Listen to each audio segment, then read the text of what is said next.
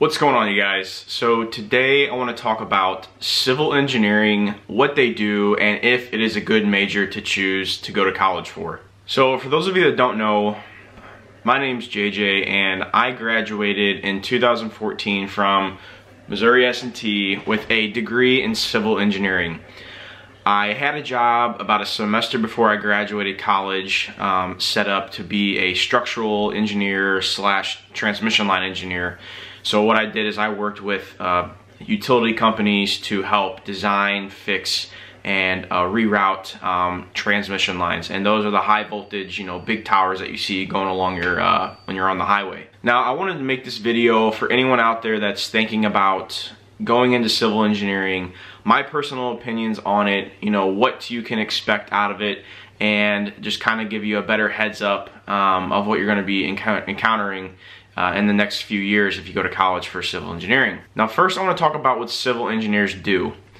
So when you're driving down the highway, everything you see that is man-made, civil engineers had probably had a hand in designing it. You have your roads, you have your buildings, you have your transmission slash power lines. Everything that you see pretty much driving down the highway civil engineers have a hand in the designing process. Now to break down civil engineering as a whole, I would say there's six emphasis areas within civil engineering. The first emphasis area in civil engineering is construction engineering. Now this would pretty much be you go work for a general contractor or you go work for maybe an engineering firm that has a construction side and you'll be doing project management, you'll be tracking and running schedules, you'll be you know get re receiving bids from um, the subcontractors that you send RFPs out for, requests for propos proposals. It's a it's a great job. It's actually the main reason why I got into civil engineering is because I wanted to get into the construction world. Now the downfall with this part is typically there is a lot of travel, you have long hours, and that's if you're working for a larger company. Now, if you're with a more small niche company uh, and, they, and that kind of just works out of a small area or maybe a couple cities, you won't really have to travel as much. You may have to make a couple field visits every now and then, which is actually, I think, pretty fun. So that's, uh, that's one area in civil engineering. The second emphasis area is environmental engineering. And environmental engineers, they really just help, you know, solve environmental problems. They're helping to improve recycling, waste disposal, and water and air pollution control, and a many other things that has to do with the environment. The third emphasis on civil engineering is geotechnical engineers, and geotechnical engineers focus on soil. Their main purpose is, you know, if you're going out to build a building or if you're going out to rerun transmission lines, foundations need to be put in the ground to hold that structure up. So geotech engineers, what they'll do is they'll go out, they'll test the soils, and they'll give the geotech report to the engineer, the structural engineer, and then they can kind of determine, you know, how, how strong the concrete needs to be and what type of foundation needs to be used to hold up that structure. The fourth emphasis area is structural engineering. And again, like I said, this is what I did when I worked at my old job. Structural engineers, they do a lot of different things. You know, you can work with bridges. Um, you can work with, uh, like I said, like I did, working on transmission lines. Uh, you can work on buildings.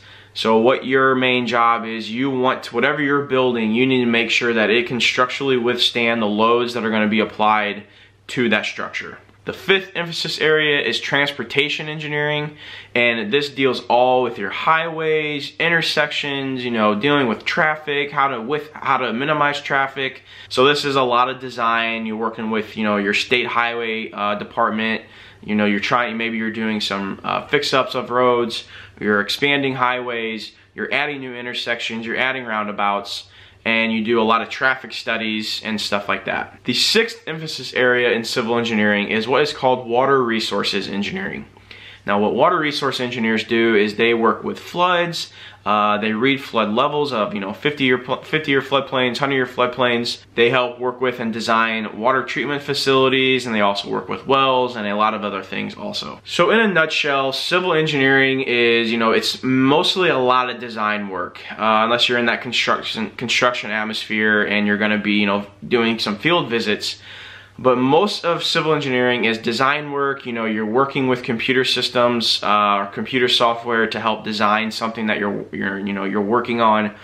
Like whether that be a dam, a bridge, a road, a transmission line, a building. You know, it's a lot of sitting at your desk on the computer, you know, having meetings with your client to see what they're wanting or the owner to see exactly what they're wanting and then you design that for them and then you were also or be you might be working with architects if you're on more of like a building or uh, some type of that aspect. But it's really just a lot of inside the office work, you know, on the computer, cranking out designs. So now for the next part. Is civil engineering a good major?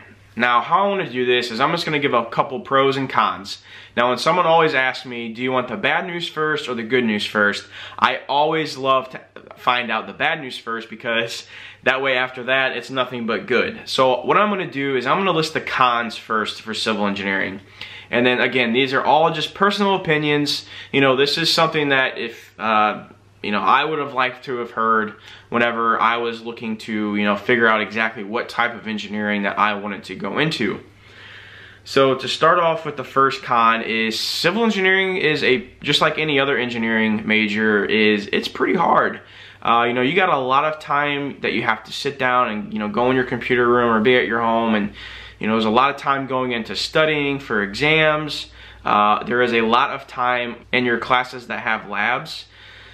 Uh, you know, there's there's sometimes where the labs take longer than how long you have to study for because there's so much work that goes into these labs that you put together. I mean, I remember a couple of my labs ended up being, you know, over 50 pages long of just data and you know writing out information of what we learned or you know what was done during testing and what we found out from our data. So that first is it's, it's a very tough major and I see a lot of people actually that drop out um, during the process of going through civil engineering. Not everyone makes it. Now this one is a more personal opinion. Uh, you know civil engineering isn't the most exciting job.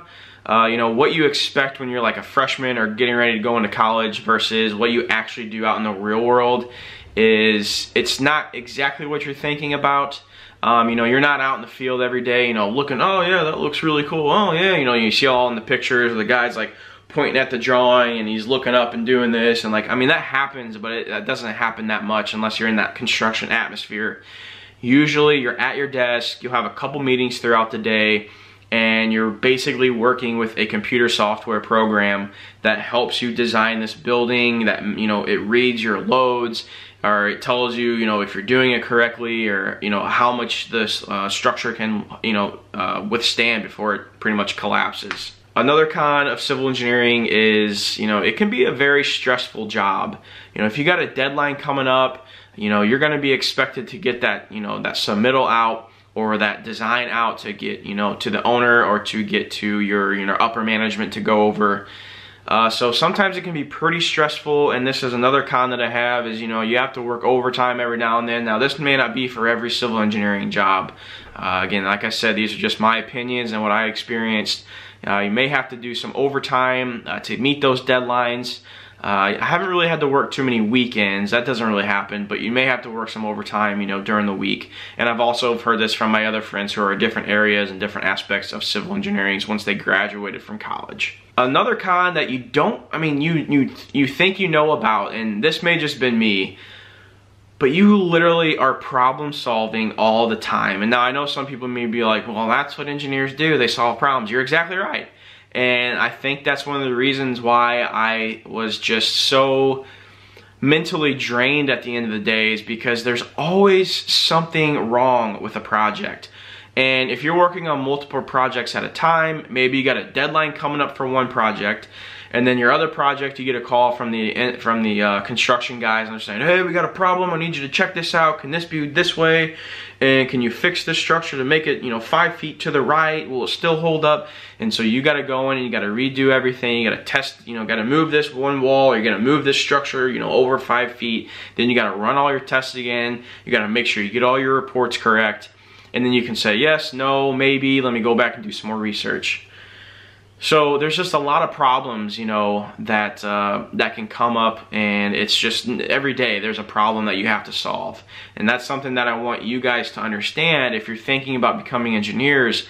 Is you know, it's not all taking your Legos and building blocks and be like, oh wow, that looks cool. No, there is a lot of problems with you know, the projects you're working on and it's gonna take a lot of time for you to fix those. That's it with the cons.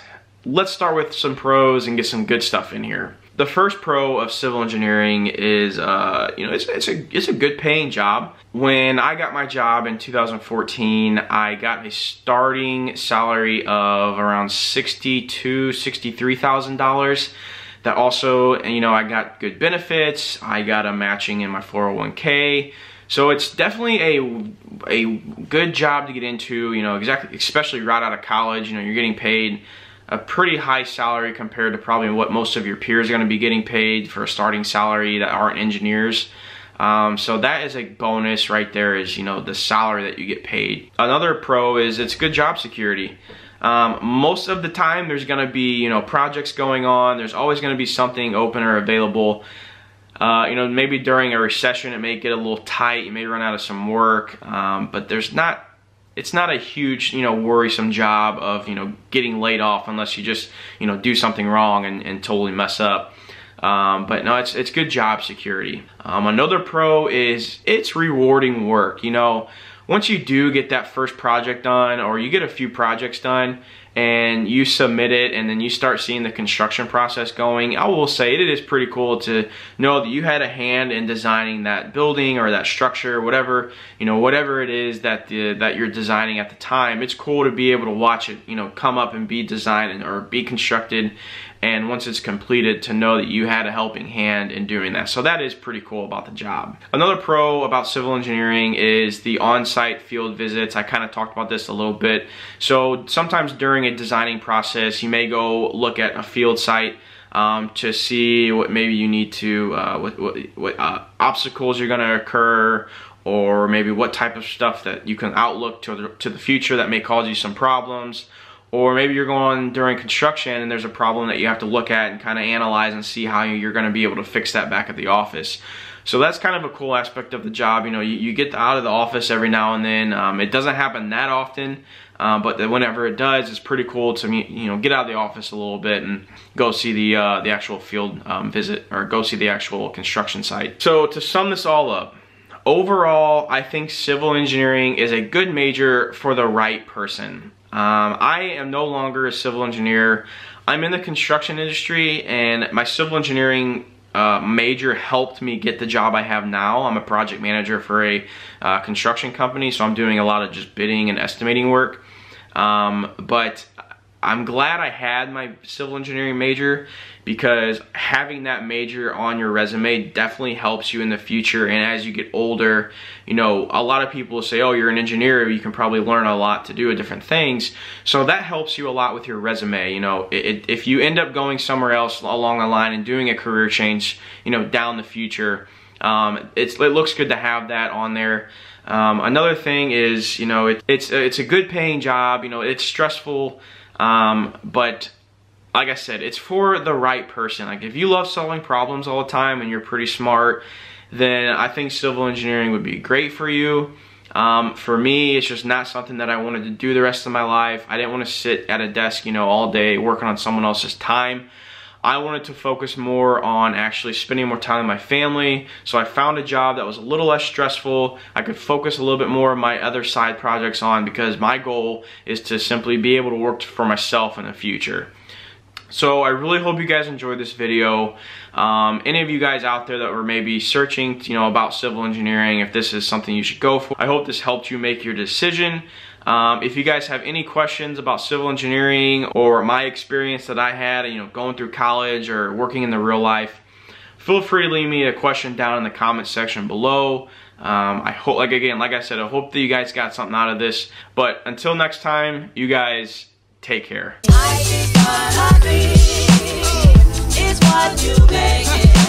Always try to give, don't ever take